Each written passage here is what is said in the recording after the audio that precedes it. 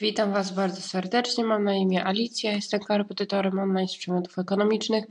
Jeżeli potrzebujecie się ze mną skontaktować, ale tylko z przedmiotów ilościowych na kierunkach ekonomicznych, to jak najbardziej piszcie od razu na adres mailowy zadania myślnik projekty małpa.wp.pl a dzisiaj w ramach powtórzenia pochodnych przypominamy sobie e, podstawowe mm, działania związane z iloczynem pochodnych, ale jeszcze dokładniej z użyciem e, funkcji trygonometrycznych, takich jak widzicie sinus i cosinus, między nimi jest mnożenie.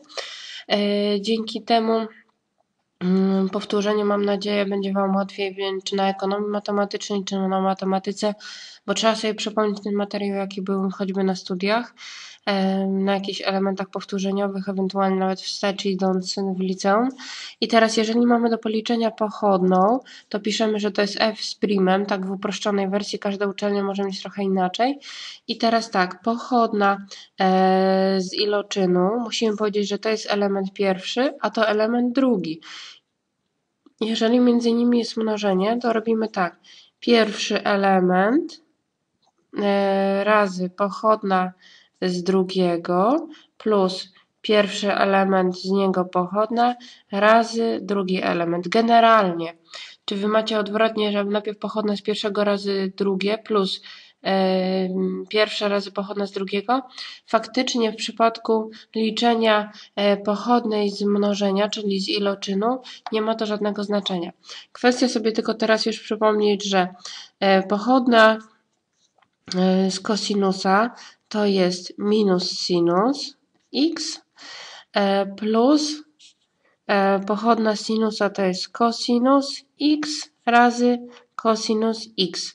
Oznacza to tyle, że mamy dwa kosinusy przemnożone i dwa sinusy przemnożone, czyli to jest cosinus do kwadratu x minus sinus e, do kwadratu x. Oczywiście w tej formie możecie to zostawić, ewentualnie skorzystać z jakichś wzorów skróconego mnożenia, e, takich powiedzmy przekształceń trygonometrycznych między e, kątami. Tutaj prawdopodobnie coś będzie z podwojonym kątem można zamienić, dostosować do tego, co dalej potrzebujecie. Ja na ten czas kończę omawianie tego zadania. Jeżeli potrzebujecie się ze mną skontaktować, piszcie od razu na adres mailowy zadania myślnik projekty małpa.wp.pl albo wejdźcie na moją stronę internetową. I rozwiązujcie tego typu zadań jak najwięcej. Lajkujcie filmy, jeśli Wam się bardzo podobają. Komentujcie, subskrybujcie.